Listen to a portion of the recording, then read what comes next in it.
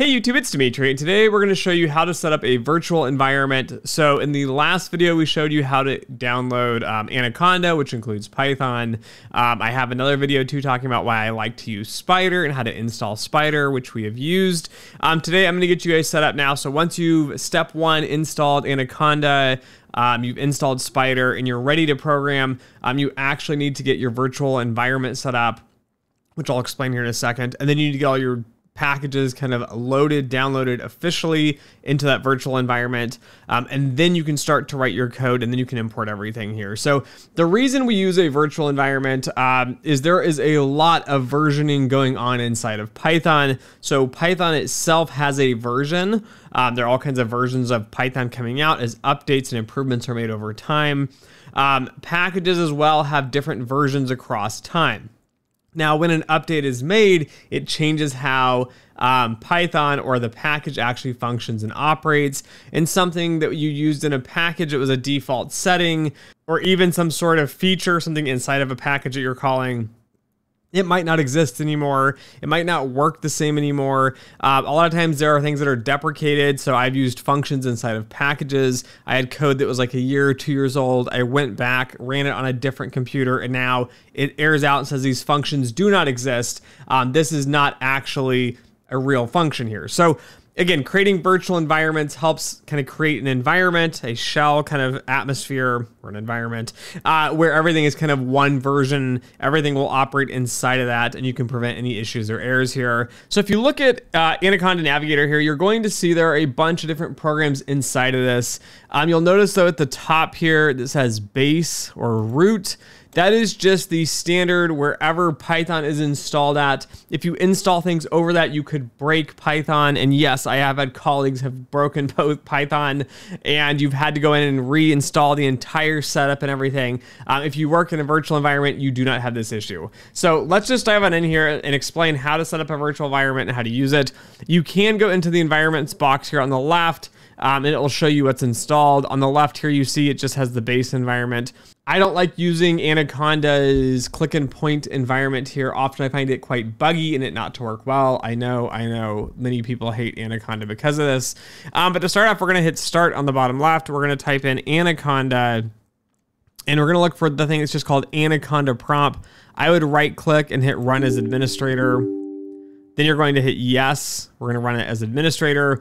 And you'll see here, it's going to give you the location where your Python is installed at. Mine is in my C drive, my Windows, my System 32. But most importantly, notice it says base here. So this is the same as we saw right up here where it says base. Uh, we are in the base environment. Um, let's just create a new environment. You do not need to do this all the time. I have at work probably four different environments I operate in. Uh, realistically, like 99.9% of all of my programming occurs in just one environment because I kind of do the same job and the same task over and over again. Um, if I'm doing something very new, very unique, I might want to package it. I might create a second one. Um, but let's just create a quant, um, you know, virtual environment here. You can call it anything you want, but we're going to type in conda and then we're going to type in uh, create and then we're going to do dash n. This is going to be the name of the environment we want to call it.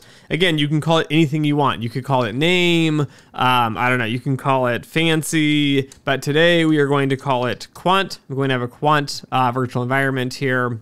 And you could type in a bunch of other stuff like the exact version of Python that you want. We're not going to do that. We're just going to run this and create a new virtual environment. We're going to click enter and it's going to do some running of code to create this virtual environment here. It's going to set up uh, the version of Python. It's going to ask you some question. Do you want to proceed? You're going to hit yes. And it created it, okay?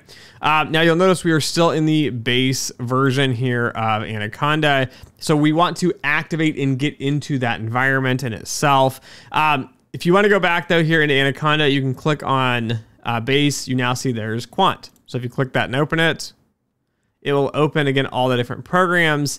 Uh, if we scroll down here, you'll notice Spyder's not installed. So let's click install on Spyder real quick before we do our other packages. Um, this will take some time, so I'm gonna skip through the video here and just show you the screens quickly, but no worries, it will probably be a little bit slow. Okay, so that took forever. I don't know what happened with it. Just a little green circle spun around, and then finally it just popped up and said launch here. We're gonna click launch, and we're gonna open up Spyder. Okay, and you should just see kind of this open blank uh, Spyder page here. And I just want to show you guys that the packages aren't actually baked into Python. Some of them will be there, um, but many of you will use um, import pandas as PD. Uh, you'll also use import numpy as np. So just to give you an example, we run these and it'll tell you no module named pandas. Um, again, if you run numpy it'll do the same thing. No module named NumPy. So this is going to be frustrating for those that are new. You need to install this inside of that virtual environment.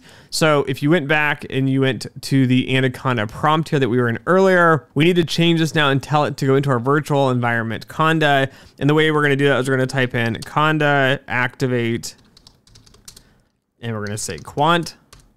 And now you will see it'll tell you that there's something called quant, it's environment we're inside of. And now we're just gonna tell Conda, hey, go install the packages I want. So Conda, install um, pandas. And click enter.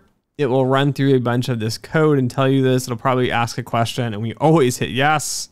Proceed to install all of these other packages that it needs it'll do this crazy thing, looks fancy, some lines, some percentages. All right, and now it's going to tell me it's back in the quant virtual environment and it's flashing here.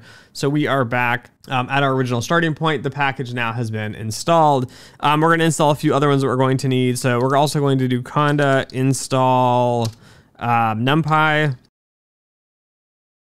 All right, it's not going to ask me a question on there. And then we're going to say, hey, conda install uh, matplotlib. Uh, this is a library to do a bunch of plotting, so we're going to need that. Yes, install this other stuff. Do some fancy math here, do some installs. Uh, and then finally, we're going to do uh, conda install um, datetime.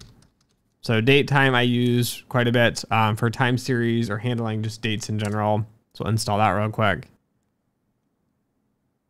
All right, and there we go. That is basically all we're gonna need for now. I'm just gonna minimize the screen, but anytime you need this, remember, go down here, click in, type Anaconda on your window navigator, uh, right click on your Anaconda prompt and run as admin. This will pop off, pop up in the base mode as usual. And then we're gonna type in conda, activate, and then type in whatever your name is. So here we're using quant, but obviously we're already in quant. So that's how you're going to do any sort of install of new packages that you're going to need.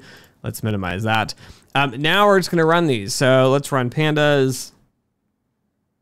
And bam, it runs. See, there's no air that comes out, um, but I'm gonna run this one. It'll import that. So that is how you get your virtual environment set up, guys. Um, this is how you import data. Notice two of the really cool things that I like inside of Spyder here. Um, these little triangles are just gonna tell you um, this package is being imported, but it's not being used. Now, if we did something below, like, I don't know, panda um, read CSV, even though there's nothing even in here. Um, the little orange triangle is going to go away.